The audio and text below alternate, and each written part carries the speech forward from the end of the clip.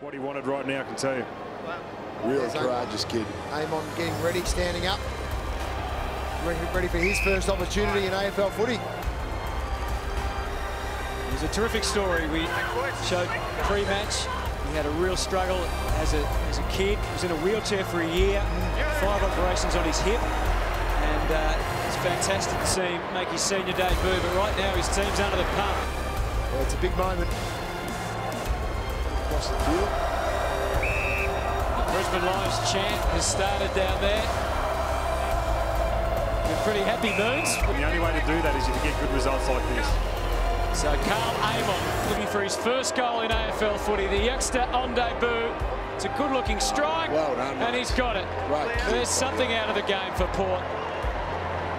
Great story, as you mentioned Yeah. before. I know Karl Amon, what a kick by the young fella, 55 metres. The goal in his first game.